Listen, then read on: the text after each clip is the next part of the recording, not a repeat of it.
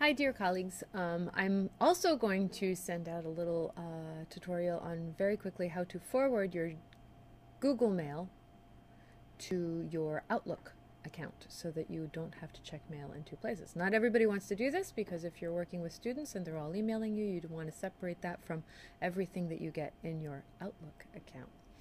So um, we're going to start at nchslmc.org, the New Canaan High School Library Media Center, and we're going to hover over the Google Circle, uh, the Google App Circle, and we are going to right click it and open that in a new tab.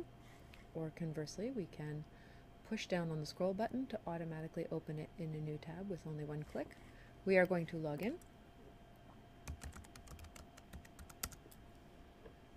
Then we will choose email. And now we will go to settings and we are going to choose forwarding and pop IMAP. This is the default setting. We are going to change this to forward a copy of incoming mail to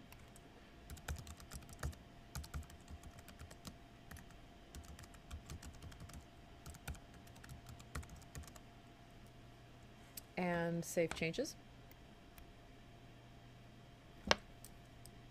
And you're done.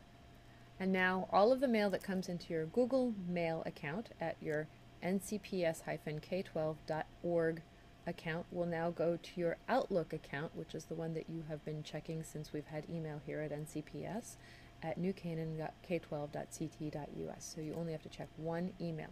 Make sure this is what you want to do, but just in case you change your mind, all you have to do is go into Settings and Forwarding Pop and Disable Forwarding and now you are done. Oh, and save your changes.